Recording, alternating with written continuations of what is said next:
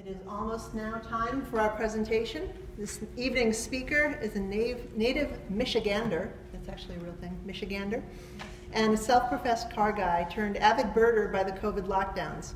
He and his wife Cheryl were drawn to Ithaca during the pandemic, she by an advanced degree at Cornell, and he by the allure of the Lab of O, Sapsucker Woods, and the Finger Lakes. Since then, he's engaged not only in his own local birding interests, but he's also helped out at the lab by being a past Kids Discover the Trail group leader and recently been a beginner birdwalk assistant walk leader. Tonight, we'll hear about his December photo safari to Kenya, where he had the opportunity to add a solo birding expedition and spot almost 300 species on his trip. He'll be sharing some incredible images of creatures both feathered and furred. Please join me in a warm welcome for Cliff.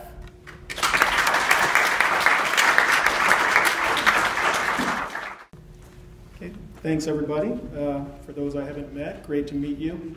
Uh, I'll just say uh, I'm an extremely novice birder, so if I say anything crazy or you guys, uh, if I miss something, feel free to jump right in and, and let me know. Uh, I'm not shy. But uh, again, this is about my trip to, to Kenya last fall. A great trip. started out for the trip. this was the first trip uh, I took since the start of COVID. There was an annual kind of deluxe safari that goes to, to Kenya every year uh, with a travel agent that we work with. And uh, we decided to join in. This was their first time hosting this trip. The screen again. sharing has problems. I, so. I apologize. yeah. One second, technical trouble. So this was uh, their first time hosting the trip, so uh, we were lucky to be able to join in.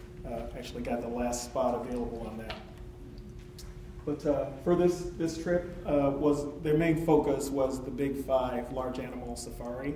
Uh, I really wanted to do that, but I also, uh, since I'm now uh, very interested in birding, thought if I'm going all the way to Kenya, they generally see about 1,150 species in Kenya during the migration at that time of year. So it makes sense to throw in a little bit of, of birding uh, just for me. And I was able to find somebody who specializes in bird tours and he gave me a really great price on basically a private tour just for me uh, for three days before I went to the main main safari. So really lucky. Uh, I'll share with you guys some of what I saw, but I saw so many birds, it's, impossible to talk about it in one night. You can see for this trip, I went all over basically uh, the western side of Kenya. Started in Nairobi, and for my three-day tour, we went within driving range from Nairobi and went to some really big uh, preserves and, and, and wildlife refuges there. And then he dropped me off back in Nairobi to join the main safari. Uh, and again, we went to all the biggest preserves all over uh, Kenya. Uh, nine stops total, and uh, we made some bonus stops with my private tour in between. So, really, if I counted everything, probably 13 areas that we reviewed on this trip. Get back into my presentation. There we go. Uh, started in Nairobi. Nairobi, of course, being the capital of Kenya, is it is the most populous city in Kenya. About 10% of the population at 5 million people. What I didn't expect when I got there was the altitude is 5,800 feet in a lot of places. So I was learning how to breathe again. Uh, so it was good that I had a couple extra days to get prepared for the rest of my trip. Uh, my guide took me to the National, the National Natural History Museum in Nairobi. Great museum, a lot of great stuff. But uh, one of the coolest things they had there was stuff, uh, preserved specimens of almost a thousand of the 1,150 birds that generally come there. So he was able to show me what I'd see, tell me what I'd see with him, tell me what to look for when I joined the rest of the safari, and uh, you know, live in color, full version samples of everything to look for. So I had sort of a head start. He told me I'd be an expert when I joined the rest of the, of the tour, and I did feel like I knew a lot by the time we started going out. For this tour, uh, you saw the map where we went all over the country. Kenya uh, straddles the Rift Valley, so the lowlands in Kenya are about 2,000 feet altitude went up to 9,000 going over some of the mountains. Almost 9,800, I think, was the, the highest recorded on my little sport watch here. But uh, all kinds of terrains, lakes, mountains, deserts, uh, rivers, we saw it all, and I got to experience some of the wildlife in each one of them.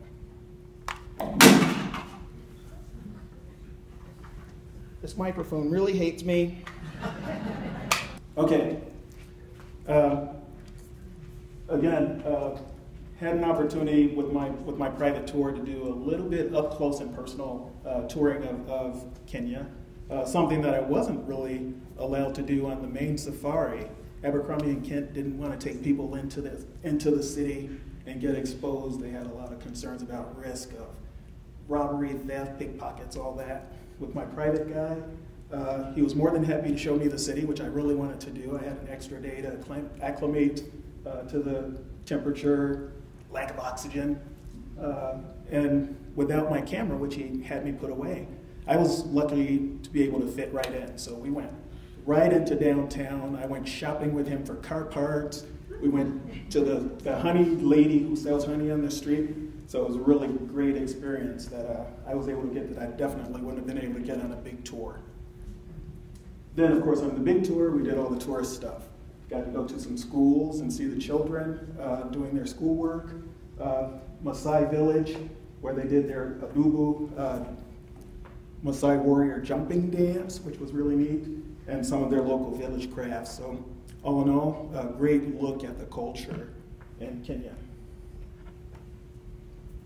And then we got to the wildlife. Uh, very diverse, as I already mentioned. I saw some of the same animals at multiple different altitudes in multiple different environments. Uh, some egrets that I saw in the middle of the desert, also in wetlands. So, uh, very, very, not just species diversity, but uh, habitat diversity where those species were located. So that's just a long way of saying uh, you saw the circuitous route of my trip this story doesn't lend itself to a linear progression, so you guys are going to have to bear with me. Follow me on my trip uh, at my whim. So we'll talk about a lot. Of course, the main reason people go to Africa in bulk is for wildlife, big five, the large mammals. So we'll cover that just so we'll say that we saw it. But the big five, of course, lion being king of the jungle, the black rhino, uh, which is separate from the white rhino, is which is not on the big five. Uh, black rhino primarily because it's more aggressive. If it sees you, it will attack you. Fortunately, black rhinos don't see very well.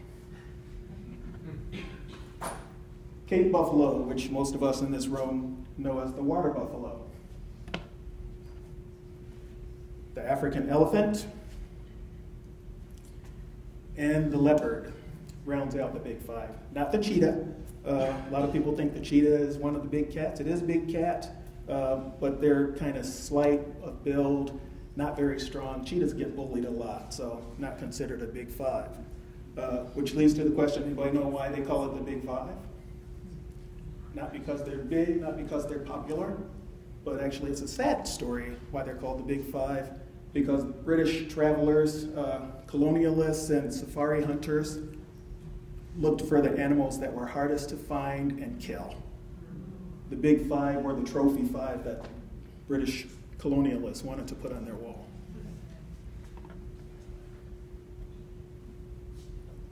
But we're here to talk about birds. And uh, to start this, I want to introduce you guys to what became the favorite of, of the people in our teams.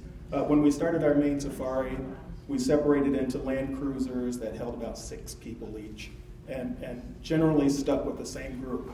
And my group really fell in love with the lilac breasted roller, uh, which we called the Lola, uh, because uh, our driver was from the Central Rift Valley in Kenya.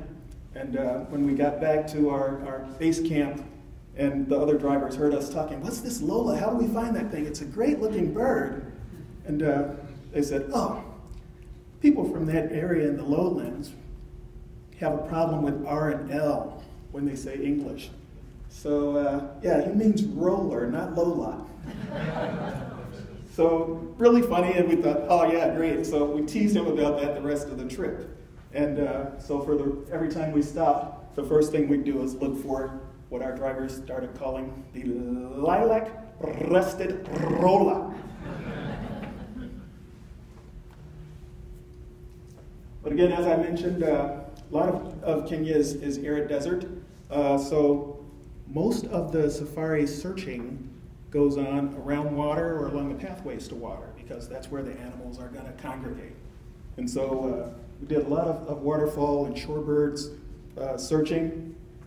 So I'll go through a few of what we saw, but again, uh, many I won't be able to cover. One of, one of my favorites was the African jacana.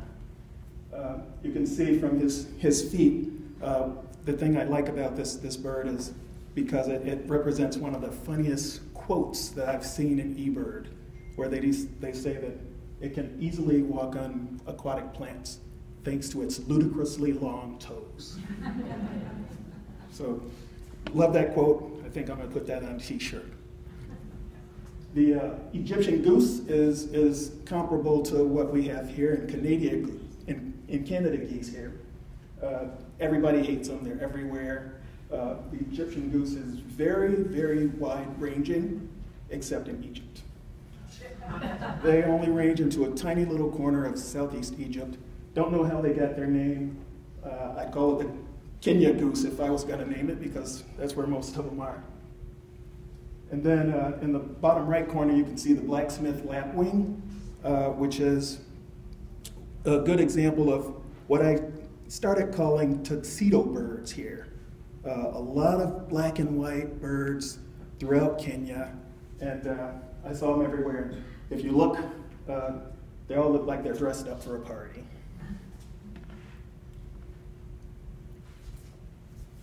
These are a lot of the, the waterfowl that look very much like what we see in, in the US, uh, but all different species. African sacred ibis was pretty wide ranging, looks a lot like our white ibis. Hadada ibis was in almost every tree you pass. Uh, you know, Stephanie was asking about the glossy earlier. Uh, African spoonbills, of course, we have spoonbills. The lesser, uh, lesser flamingo is very plentiful at the time that we were there. Uh, they normally go to a lake called Lake Nakuru, which was uh, one of the biggest lakes and one of the biggest national parks in Africa. They left there because of the last year was a drought year. The water levels were really low. They feed on, on high salinity algae. Uh, because the lake was low, the birds couldn't go there. My guide knew a nearby lake, probably 30 miles away, Lake, lake Baringo, where we went and almost had all these, these uh, flamingos to ourselves. So probably 100,000 of these lesser flamingos. It's the smallest flamingo in the world at about 30 inches tall. And uh, yeah, they were hanging out. Of course, some other uh, greater flamingos there, which are the 42 inch tall variety, but uh, lots of those. Of course, the striated heron looks just like the green heron we see here. Uh, it's a similar family. They used to be considered subspecies partners, but uh, they've since been separated. Tall birds. The great crowned crane is just a beautiful bird to see. I got to see some of these, you know, two feet away. They had some that were resident at one of the camps. I think I took some pictures like three inches away from their faces with my iPhone while I was waiting on my breakfast to get made one day. Beautiful bird with a beautiful crest. The marabou stork. Uh, in Kenya, they call it the undertaker bird for obvious reasons. You can see it's got that, uh, that black cape, the white neck feather ruffle that we saw in the cartoons in the old days, that decayed looking skin that just makes it the most unattractive bird you see anywhere. Uh, they do function as a cleanup animal. They, they inhabit uh, dumps, eating all the trash. They clean up uh, carrion from, from unfinished kills. So it, it's uh, biologically similar to all the storks, but functionally, I'd, I'd almost say it was more of a vulture than a stork. This woolly necked stork uh, Asia. completely vagrant. Uh, it was a one-off specimen that hung out in, in a river uh, near one of our camps.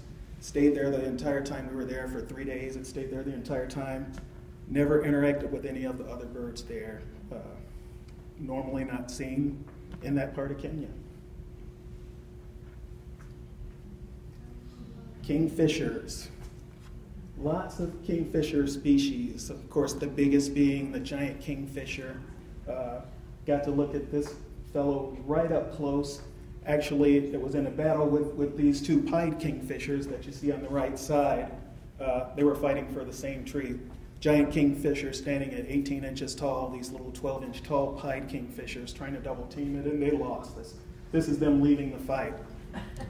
Uh, the one on the top, the Malachite kingfisher, is what I consider the smallest kingfisher in Africa.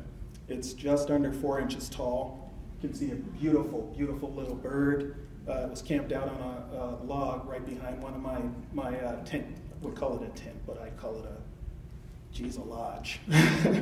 I had a patio on the back that I sat at and, and watched this little guy fish for minnows uh, just diving into the water. I made a video of that that I won't be able to share today because of time, but you can see it's a beautiful bird to watch. Um, there is another kingfisher, actually two in Africa that are smaller than this. The pygmy and dwarf kingfishers stand at three inches tall. But I don't consider those true kingfishers because they don't like to get their feet wet. They live in forests and eat bugs, not fish.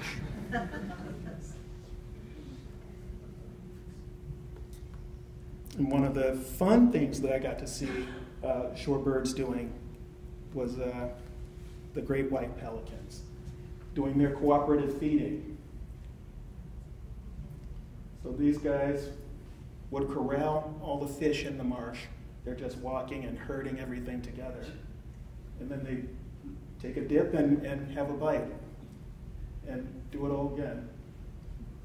What was really neat about these guys was watching almost the, the herd like in unison direction changes that they, okay guys, you guys head left and we're to cut them off. And really fun to watch.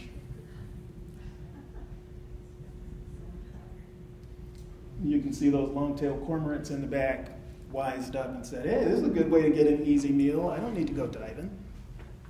So, very cool. The other part here, we got our hummingbird lovers here. Uh, I know my wife Cheryl was excited to hear the red throaters are back in town. Uh, sunbirds are the African equivalent of hummingbirds, and all those same fabulous colors that we come to, to love with sunbirds. Uh, you can see, uh, just the variety was limitless. What I had fun with was, was again, Altitude changes uh, drove the biggest differences in the subspecies, but some of the things that you have to look out for, things as simple as the iridescence, uh, determine what the species was. Like on the left side here, the scarlet-chested on top glows green and blue, while the hunter sunbird below glows green and purple and doesn't have a green underchin. And so you need the right light to know what you're looking at. Uh, all the sunbird females are typical, like a lot of females, not a lot of color. Uh, the scarlet chested was one of the darker ones. Primarily, they were uh, generally tended toward buff and yellow with some striping, but that scarlet was very similar to the amethyst sunbird male. That's a dark brownish bird with a indigo violet under chin iridescence. And again, uh, you have to just really look closely to recognize that you're seeing five, ten species rather than three or four. Getting out onto the savannah, there are a few things uh, that we saw. I want to point out again, thanks to my, my private tour, uh, I was able to see some things that were really special that you know a big tour company wouldn't take the opportunity to, to take you to. We made a special stop to see um, just a vague hope uh, a very special bird. And the, the Sharpe's longclaw inhabits just a tiny little sliver of Kenyan territory. only place in the world it's seen is maybe on five hilltops in Kenya, only between five and 6,000 feet, and only certain months of the year. So we went there uh, on the hopes of seeing this. People travel, ornithologists from all over the world to try and study these things and make a trip and hope that they can find one. My driver knew where these guys hung out. We went there, waded through swampy wetland for an hour, got our feet wet, but we did uh, get to see this beautiful bird. Uh, and you can see it's very well camouflaged. Uh, Joseph got sick of me trying to even find the bird. He snatched my camera away and said, Here's a picture, darn it, let's go. so uh, Joseph took this picture of the long claw, but, but again, really nice looking bird. Uh, something else that in, was in that same field was this long tailed widow bird. Uh, we were there at the height of its breeding season, so he's got this beautiful 42 inch long tail uh, dragging behind him uh, that we got to see. Unfortunately, I had some technical problems with, with uh, saving pictures. I didn't get to keep the other uh, pictures from this. I lost them. Uh, so you can see what this bird normally looks looks like, but it's shorter tail, uh, almost like a, I'd say it looked more like a, a red-winged blackbird. Uh, the juveniles look like a juvenile red-winged blackbird, brown and, and black. And then a couple months a year, they get this beautiful long tail. And uh, this is, we'll see if you can hear the sound on this, but very windy day. Uh, you can see I'm getting blown around as much as this bird as he's flying backwards with his long tail. Really interesting bird, and this is how they attract their mates, uh, just doing these little jump flights throughout the field until somebody notices. Big birds. Can't big birds without starting with the ostrich, of course. Uh, standing six to nine feet tall, uh, the common ostrich is the biggest of the big birds. And uh, you can see here, again, something I learned on this trip, two versions of the ostrich. Easily identifiable, not overlapping ranges. The common ostrich uh, normally has the pink legs for the male. Uh, during mating season, like here, they flush brighter pink uh, the females keep their, their dull brown feathers and gray skin uh, that people typically associate with ostriches. And then the Somali ostrich is blue. And uh, doesn't show up as well here on the screen, but bright blue leg and, and uh, neck skin uh, standing out. And I think they do flush a little bit pink during breeding season too. And then the females look very much like the, the common ostrich but the savannas are slightly smaller uh, than the common ostriches. The Kori bustard, another big, beautiful bird, stands about four, four to five feet tall, uh, roams the plains out there. Uh, we were really lucky. We, we did, before dinner, uh, an evening drive at most of our camps. And so right at dusk, we get to see the Koris uh, go out and you know they have a, an interesting mating pattern. They do uh, polygamous mating, so the males would go out every evening and puff themselves up, show off their feathers, show off their stuff, mate with as many females as they can that night. Then they go their way. The females will will lay and tend the nests and raise the children with no interaction from the male. So, uh, kind of a party life for the male Koris. Oh, and, and I did mention, I think before that, you know, we saw the lilac breasted roller on this trip. Beautiful bird, uh, lovely color. We tried to capture uh, that experience every time we saw it. It's not a large bird, but it was big in our hearts. And then uh, a bird that a lot of people go to look for, the secretary bird. It actually sits in its own genus, Sagittariidae, which of course is archer because the, the people naming it back in the 1800s uh, thought it carried itself in the field like an archer out on a hunt. It has a very pronounced, slow, determined pace to the way it walks. Uh, but there's a lot of local folklore that fits it just as well uh, throughout Kenya, where they say, you know, it's a secretary bird because it looked like when the British first colonized Kenya, you know, all the home offices had a secretary and they were hoop skirts, big dress, high heels, pencils stuck in their hair, and they had a very dignified way that they walked around. So everybody uh, calls these secretary birds because they look like a secretary. Uh, this bird is interesting because with those big claws, those high heels, it feeds by stomping its food and it eats small rodents and insects. And uh, again, another video I'll, I'll, I'll try and post. Uh, I got a video of one of these actually killing and capturing a mouse that it could eat. Raptors, talking about things that eat things. Lots of raptors. I, I couldn't name them. I didn't even see a fraction of the, the eagles and bustards and, and other things uh, that they have here, buzzards. Um, but just a few African fish eagle is, of course, the famous popular uh, African eagle. Uh, people love it because it looks just like a bald eagle, except again, tuxedo bird, a bald eagle with a with a dress bib on. Uh, so uh, saw a lot of those. Uh, tawnies, gos goshawks. The auger buzzard is another one that I saw quite a bit of. Like this picture was taken on that hilltop where we saw the, the long-tailed widow bird. Uh, all the other birds ended up with crests on this page just by happenstance.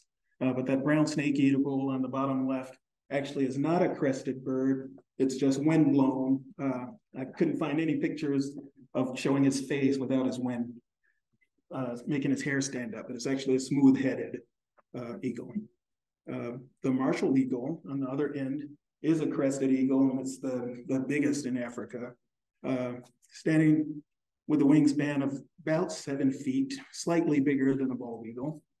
Uh, and then, of course, for some reason, you know, I got a real affinity towards that long crested eagle, but I, I don't. Then the little tiny pygmy falcon uh, was another one that I saw quite a bit.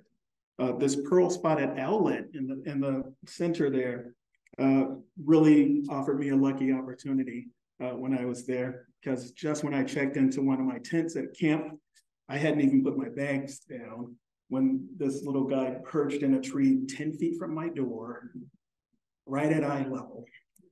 And of course, pygmy owls draw a huge mob of antagonists. So it parked there. I got to see 10 lifers before I even put down my suitcase. So really, really neat experience. I went and grabbed my neighbors. I said, guys, come and look, come and look. They were like, hey, birds, get away from us. But a great experience. Going out though, uh, again, lots of other birds on the savanna. This represents my blue series for the starlings. Uh, of course, there are dozens of starlings in Africa. The most common bird I saw anywhere on all these trips was the superb starling. Uh, it was the bird I think we've all had this experience on a, on a, a birding trip where I said, wow, that's a spectacular looking bird. It's actually superb. Let me get a picture. And of course, my guy is, forget that. You'll see a million of them. Look at this one over here. And uh, the Hildebrandt starling, very similar, uh, was one of those. He said, take a picture of that one. You won't see that again. These are some of the birds. Uh, again, we did our night drives. These are some of the birds that come out at dusk. And uh, of course, the helmeted guinea fowl, uh, they say is the most commonly photographed bird on a Kenyan trip because you know, they're absolutely beautiful. Uh, it doesn't show well on, on this picture, but in addition to that little racetrack pattern of, of polka dots, they've got a finely woven, like a quilted blanket uh, pattern stitched throughout their throughout their bodies. Uh, that's really interesting. I'm, I'm upset that it didn't show in the picture. And then the Vulturine guinea fowl, extremely reclusive bird. We got to see it, you know, actually just crossing a field behind a, a bunch of guinea fowl, of, of helmeted guinea fowls, right at dusk. They only come out at night, so very rarely seen. I got this two seconds to take this picture. I'm glad I took the shot because we never saw him again. And you can see it's a it's a gorgeous, vivid looking bird. Lots of woodpeckers as well. Uh, again, just like here, there's the red-headed, the red-bellied, the red-throated, uh, all, all reds. Uh, here, there's a lot of grays. Uh, you can't tell them apart unless you, again, have the right light. You know, the African gray woodpecker uh, versus the mountain gray woodpecker, almost identical except the pattern dotting on their back feathers. Uh, some are vertical lines and some are horizontal bars, and that's the only difference. Uh, of course, uh, and the mountain gray has a red belly wash. So it's like, hey, Bert, will you stand up so I can see your stomach and get a better look at that? Then I, I don't know if I mentioned, but there is this uh, lilac breasted roller that we we really grew to like on this trip, and so we uh, we looked at a few of those.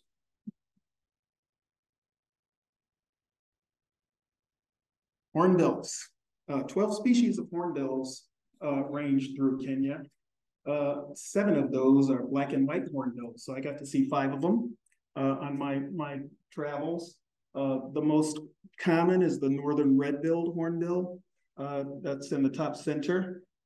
But you can see even, even for the black and whites, feather dotting pattern and beak color are the main ways that we can distinguish between these. Um, you can see it uh, in the bottom left, the, the Von der Decken's hornbill. It was mating season. I saw a lot of horny hornbills uh, while I was there. This one is doing a mating dance. Uh, I've got some some other videos of, of hornbills competing for the attention of females, and uh, they do this dance and they bang their their beaks on whatever branch they're on, and then leap and get closer. And, and sometimes there's a competition where they're leapfrogging each other to try and get the female's attention. But that Von der Decken female, really striking appearance with her all black. Uh, I thought that was probably the best looking hornbill I saw, just really formal and sticking with my tuxedo bird theme. Uh, she fit right in.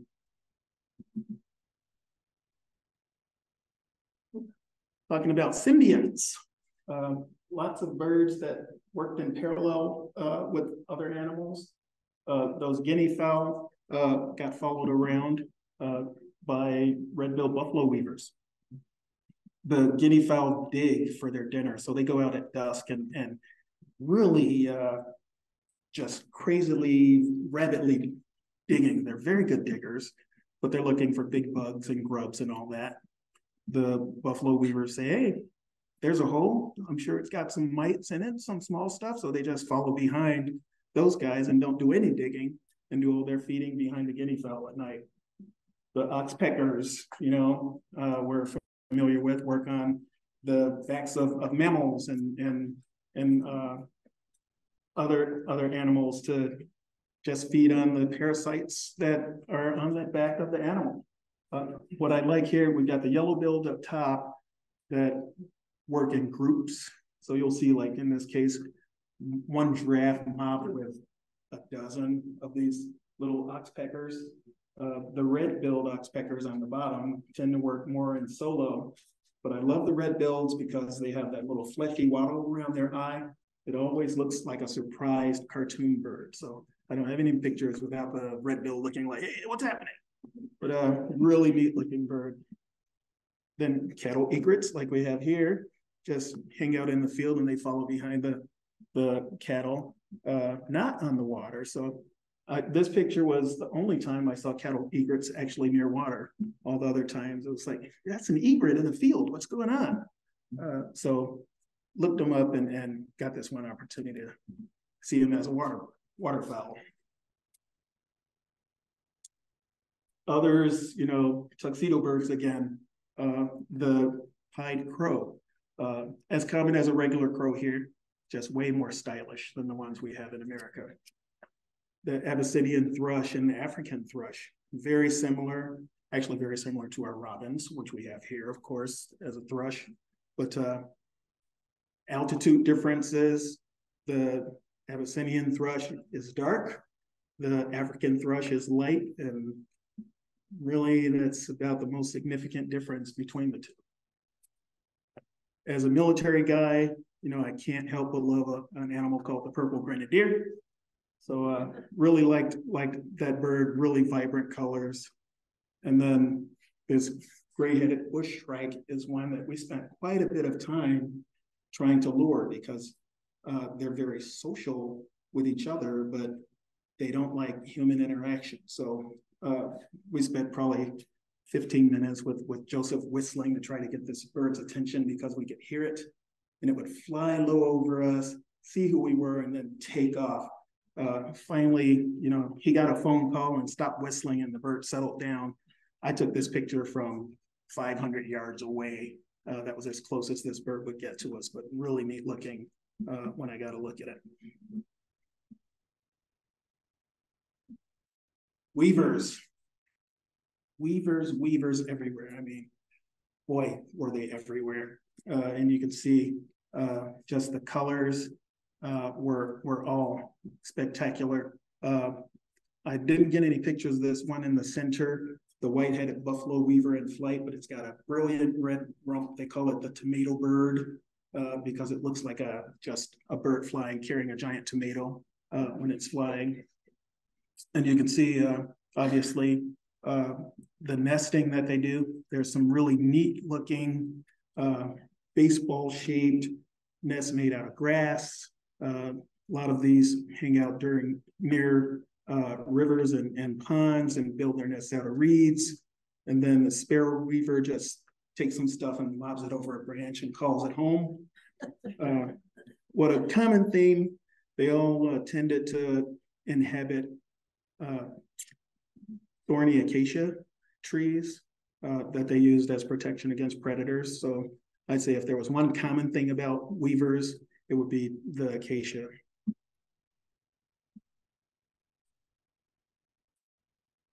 Probably the, one of the most striking birds that I saw on this trip, this top left corner, the African paradise flycatcher. Uh, really catches your eye.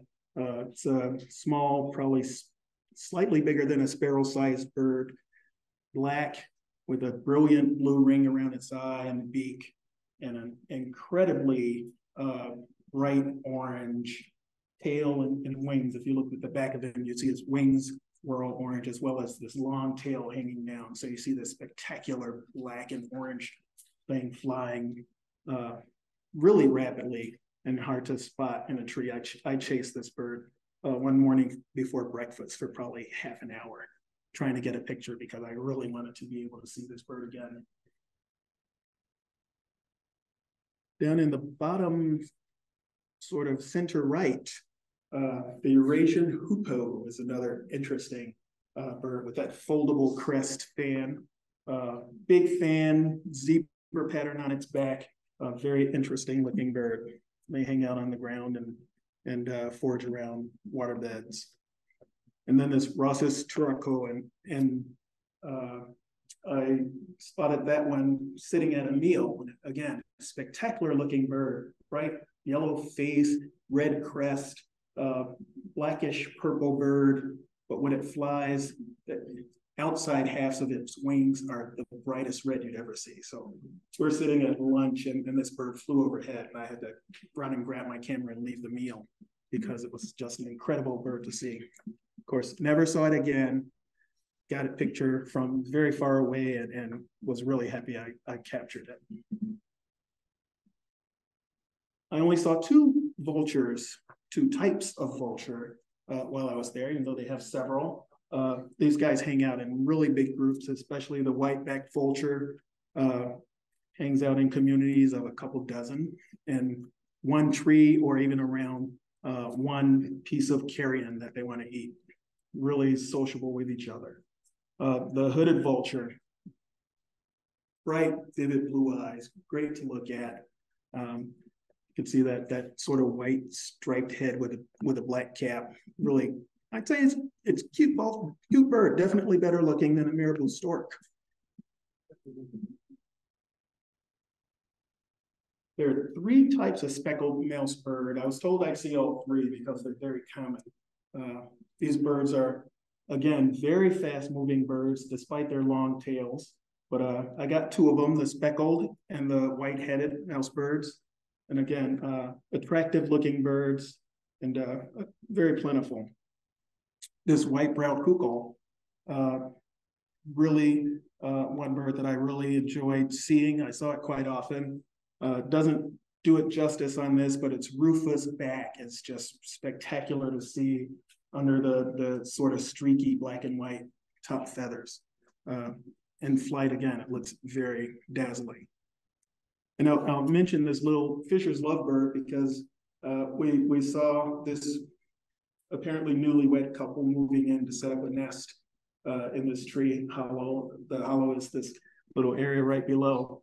And uh, he stuck his head out and saw us waiting for them to come out and take a picture. And he said, not gonna do it. So we waited for 15 minutes. He stared at us for 10 of them. He left, she never came out. We, we had to give up and leave. Then we'll talk about rollers and bee eaters. Uh, again, for those who don't know the difference, this is a cheetah, as opposed to the leopard has the teardrop pattern on its face, uh, which makes it, you know, look like a sad cat, but it's a very beautiful animal. Is that your photo? Yes, every picture in this presentation is mine, How close? maybe 20 feet. It's surprising on these safaris. Uh, you know, I, I've got some leopard leopard pictures where the leopard and the lions, in fact, walk right up to the. We were in Land Cruisers. Walk right up to the to the vehicle, walk around you. You know, they never look inside. They just think that the vehicles are an obstacle. And really strict rules: keep your head and arms inside the vehicle because once you break that silhouette and they see you as an animal, it, it changes the equation for you. But you can get very intimate visits with a lot of these uh, creatures uh, just because they're used to the vehicles being around.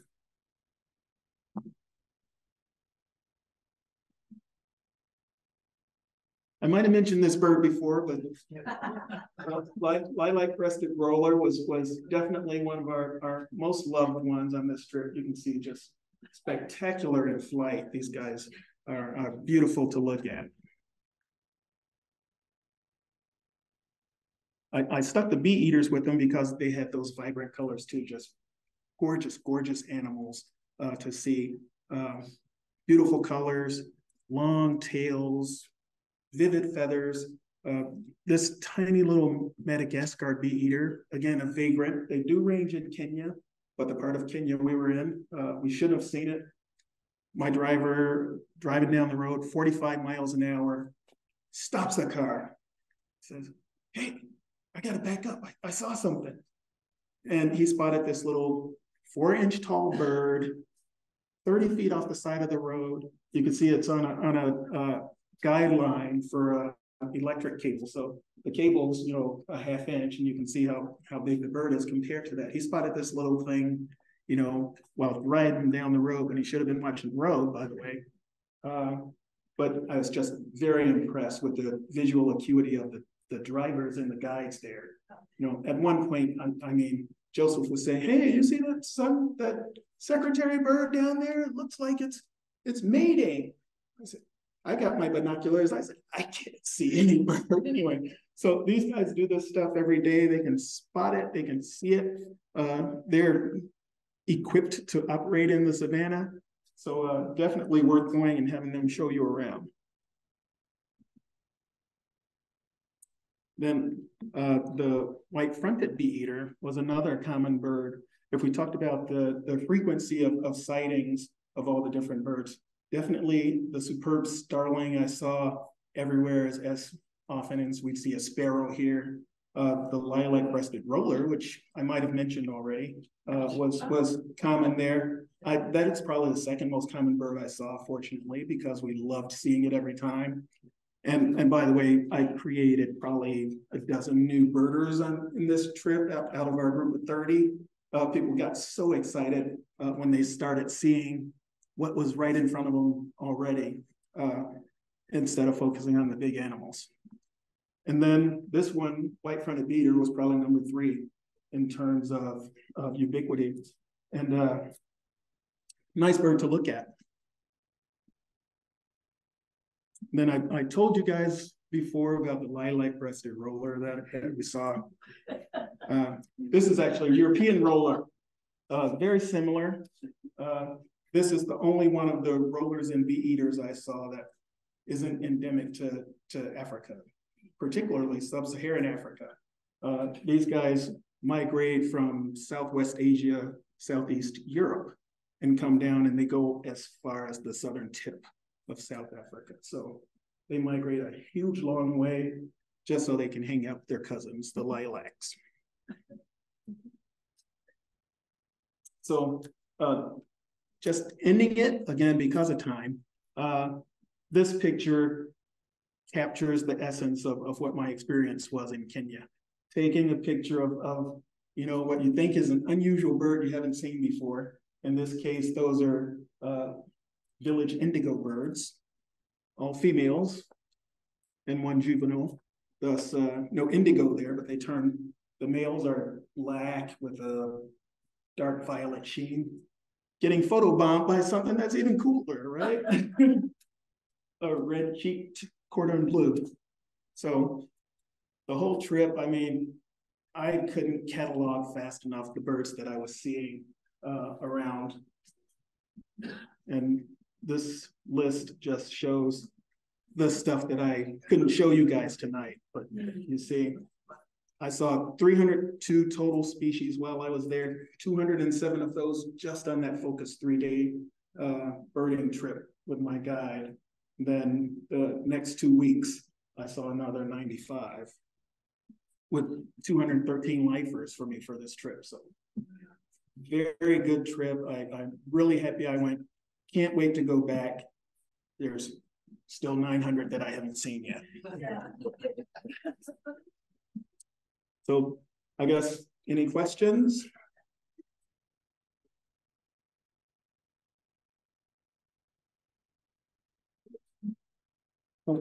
Thanks, guys. Uh, thanks for listening to me. I will say, uh, if you guys want to go to Africa, anybody going to Kenya, let me know. I'll join you. Uh, I'll hit you up with my friend Joseph, and uh, we can make a party out of it. So, thanks.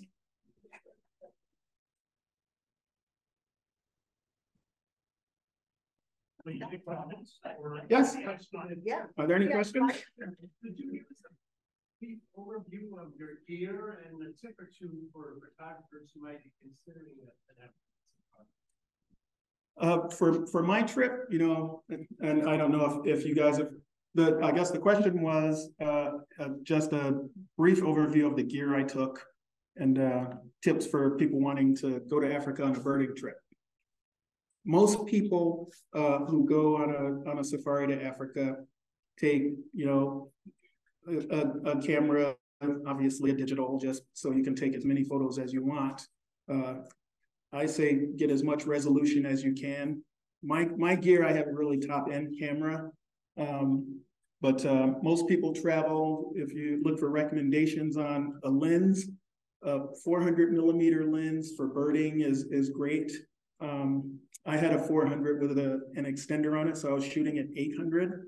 Uh, there were some instances where I was wishing that I had access to the lens that I ordered for this trip, which was an 800 millimeter lens uh, because there were some things that I, I couldn't reach, uh, especially when I was on the, the big game safari because they didn't want to bother with getting me close enough to, to the birds to look at them. Um, there was actually one bird uh, that I could see off in the distance, but I didn't record it, even though I'm sure it was because the biggest owl in Africa, elephant owl, uh, not too many things that look like that, but couldn't get the driver to go over there couldn't quite see it. If I had my big lens, I'd be able to show you guys a picture of it and say, hey, that's an elephant owl, but I didn't. Um, so 400 millimeter or bigger if you're looking for birds. Uh, in terms of photography tips, um, you gotta be fast, birds move. Uh, I always uh, shoot at really high speed for birding. Um, if we talk shutter speeds, if you're if you're controlling it yourself, 2500 or faster, uh, 1 2500th of a second shutter speed. Um, the, the guys that do this all the time shoot at 32, 44,000 uh, of a second. So, uh, but really you need something that'll focus fast um, or get really practiced at focusing yourself. And then shoot really high speed, because when you get those telephoto lenses, uh, there's a lot of shake. Uh, birds, when they're flapping, uh, if you're not at least for stopping flapping, you need about two, one two thousandth of a second to freeze the wings. Uh, and then you have to compensate for you moving. Uh, if you're, you're gonna be on a, a safari trip with a driver, try and, and find some way to take a bean bag so that you can prop on the vehicle to eliminate shake. I, I had a really strict weight requirement because I took a lot of camera gear. My, my camera bag weighed more than my suitcase. I think I had a gym bag and a 35 pounds of, of camera gear. and, and, you know, the, they had porters at all the camps and they said, oh, I'll take that for you. And really regret it. So I, I relieved a lot of the porters by taking my own camera bag. But those are the biggest, biggest things I'd say. Big lens, fast speed, and then just practice before you go because Did you use a monopod in the vehicle? I, I didn't, uh, just because it's, it's hard to manage. Um, some people do, if you're in a vehicle with, with just a couple people, like when I was driving with just my driver, I could have sat in the back and, and used a monopod. Uh, but when you got people and you want to move, again, birds take off and you need to go over here and go over there, and that monopod will knock into things. Uh, for big animals, if you're going on a big animal safari, a monopod will help you. Uh, if you're going on a big animal safari, you know, the distance at which you need a big lens that would require a monopod, uh, you got so much uh, heat, uh, what do they call it? Yeah, heat, heat shimmer, uh, that you, you don't want big lens like that for, for uh, looking at those animals anyway. So, uh, yeah, I, I'd say a monopod is overkill. Uh, unless you're on, on foot, yeah, monopod for sure. But for covering covering big areas, I wouldn't recommend it. Especially if you got a weight limit. You know, we had a weight limit of 35 pounds that I had to negotiate by taking my camera gear on the on the plane uh, with me just to avoid the weight limit.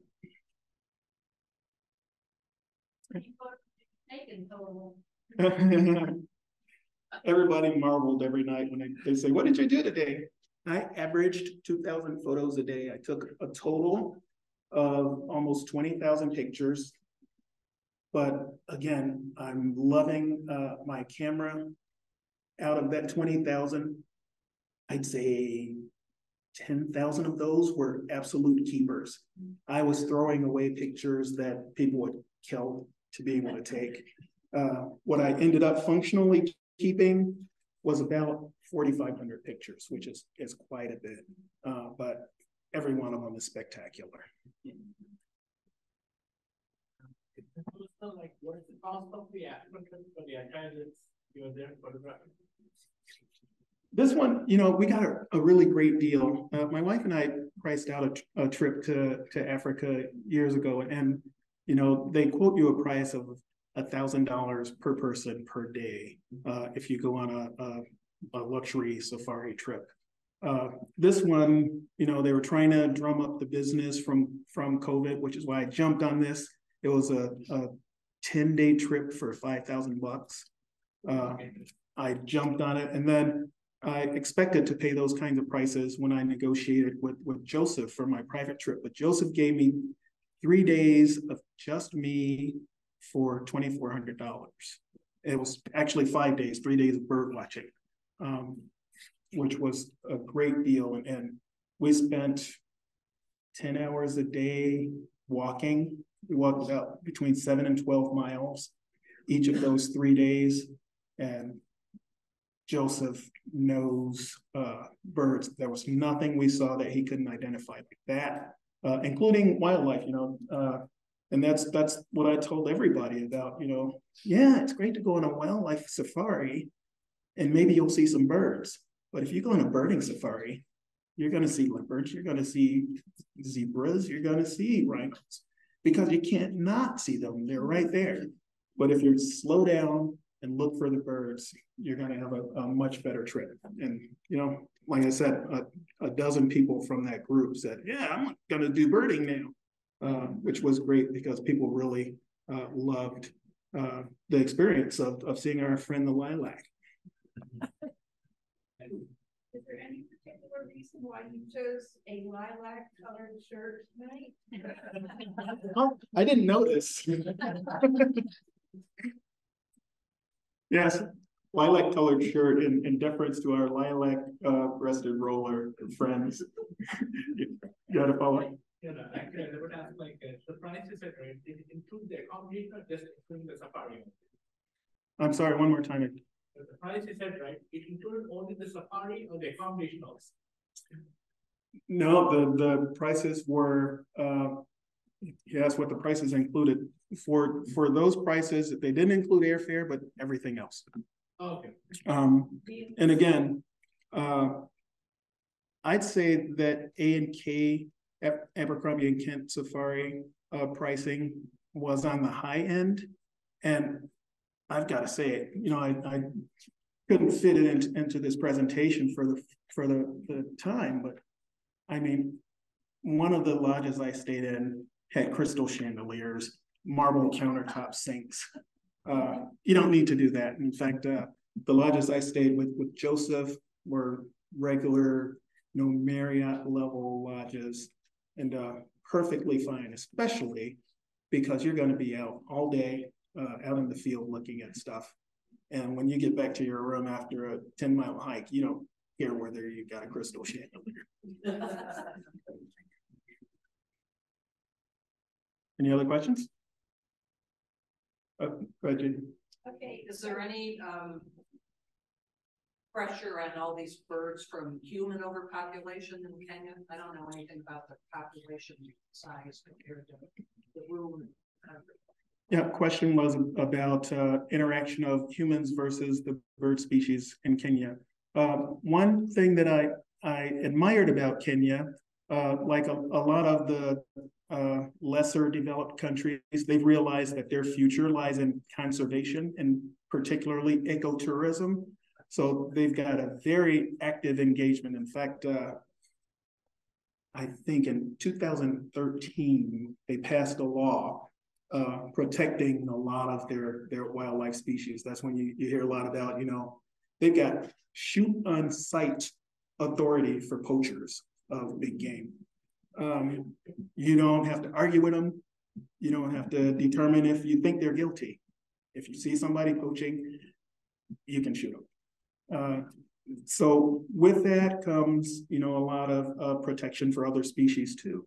And, uh, you know, that was, they, they have levels of, of, you know, we went to national parks, uh, we went to game reserves, and we went to conservancies. The difference is the elevated level of management and protection for each of those. Conservancy being where they're doing research and protection, and in some cases, uh, habitation for some of those species. Uh, we visited O- Ol Pejeta uh, Wildlife Conservancy, where they have some of the last remaining northern white rhinos. Uh, the last ever male northern white rhino lived there and died there a couple years ago. Uh, so they've got a couple females uh, that they're maintaining. At that same site, we saw uh, and, and we got to hug a black rhino, uh, Baraka, uh, who was blind, would have died in the wild. But because they're a, a species of concern, they adopted this this animal, gave it 100 acres of private space free from predators, food competition, and everything.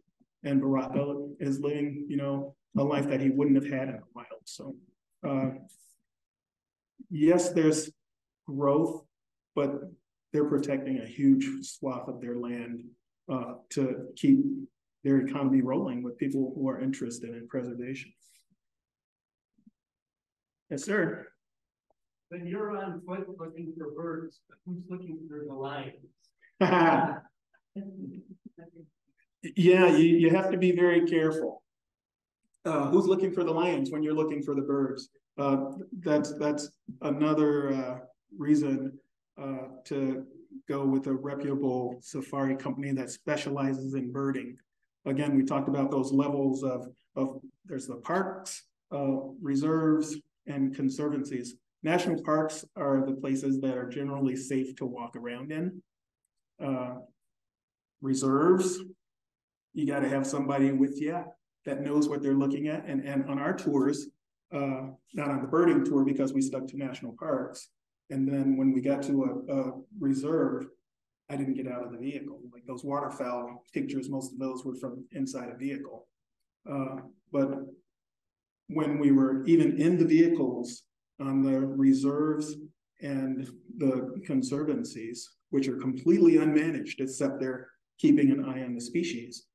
Uh, there were people in the in the party that carried shotguns and rifles uh, for protection of, of the group. Uh, and we had some Maasai guys who had their bow and arrow, uh, which the other guys laughed at, but but they were there. But yeah, something to be careful of. Oh, Janie's been been waiting. I wanted to ask about the secretary bird. Um, I always thought they run like twenty miles after snakes, and I was surprised to hear you say that they were eating small mammals. Yeah, they eat snakes as well. Uh, I, I, I didn't witness any of them running. Uh, they're certainly equipped for it. Um, I wouldn't be surprised. That was about secretary birds, by the way. Uh, I know the focus is on, um, birds and animals, and you talked about the percentage of, uh, landscape in Kenya that is desert, but, uh, any generalized description of the plants and terrain and so forth there that you would encounter while you were taking all these pictures? Uh, a generalized description of the terrain in Kenya. If, if Well, anybody, just what, yeah, if, if, if anybody's been to Arizona, um, scrub desert in Arizona, I'd say is a very good analog for, for Kenya. Uh, big plains, uh, uh, and these big plains are again, you know, five thousand feet in the air. Uh, so we went over some hills, but when you get to the top of the hills, uh, big flat plains, uh, and I'd say dominant uh, geologic environment is more of a scrub desert. Uh, populated pot, you know, with with lakes, but Ma- Maasai uh, Mara, the the big preserve that everybody's aware of. Mara means spotted. It's the the spotted desert that from the clouds and from the scrub uh, occupying the different areas there. But yeah, I'd I'd say generally, it's it's like a walk in in a cowboy movie in Arizona. Temperatures ranged uh, at 2,300 feet, 95 degrees in December when I was there. Uh, 7,000 feet, 60. Uh, so big difference. And, and when we were on the top of those mountains at nighttime, it'd get down to 40, 45. So yeah, with my little gym bag, I had to be able to accommodate a lot, a lot of stuff. What insects did you see?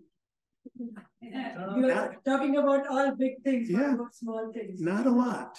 I, I took the bug spray, I never used it. Um, so I didn't, I didn't see any insects flying. Well, I'll take that back. If, if I stayed out late at night, uh, I encountered no-see-ums. Uh, as probably the only insects I interacted with. You know, I, I walked through some swamps, I walked through grassy fields. I never saw any grasshoppers.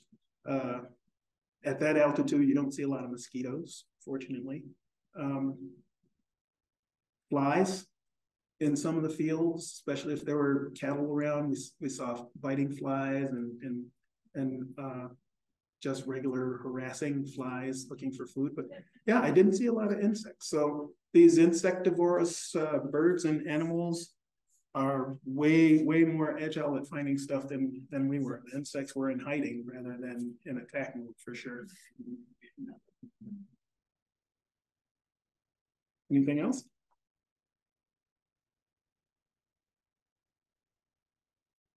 All right, guys, thanks again.